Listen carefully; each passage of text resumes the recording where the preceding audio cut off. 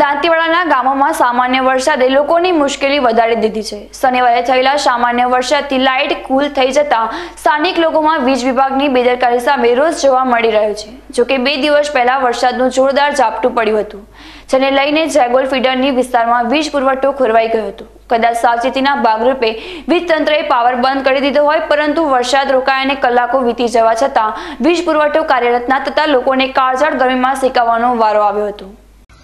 હું દાંતીવાડા તાલુકાના જેગોલ ગામની અંદર છેલ્લા એકાદ મહિનાથી જેગોલ ગામની અંદર છાસઠ કેવી સબડિવિઝન હોવા છતાં છેલ્લા એકાદ મહિનાથી લાઇટનો ખૂબ જ મોટો પ્રશ્ન ઉદ્ભવ થયો છે. છેલ્લા એકાદ મહિનાની અંદર કોઈ મોટો વરસાદ કે વાવાઝોડાની કંઈ જ થયું નથી. તેમ છતાં વારંવાર દિવસની અંદર બેથી ચાર કલાક સુધી લાઇટનો કાપ રહે છે. થોડી વાર લાઇટ આવે છે જાય છે.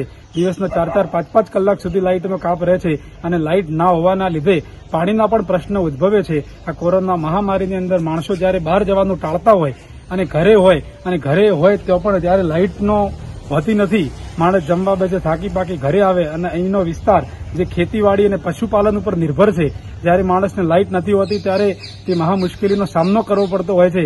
એટલે મારી આપણા મીડિયાના માધ્યમથી, હું મહેશભાઈના માધ્યમથી કહેવા માંગુ છું, સરકારશ્રીને વિનંતી કરવા માંગુ છું, યુજીવીસીએલ, જીએબી દરેક અધિકારીઓ, માનનીય ધારાસભ્યશ્રીને પણ આ વિશે જાણ કરેલ છે.